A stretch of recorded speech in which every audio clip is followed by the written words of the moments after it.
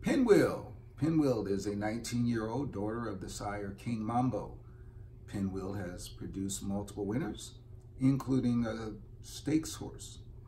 Pinwheel is being bred to the very exciting, very new Kentucky sire Free Drop Billy. Come get you a piece of the pinwheel.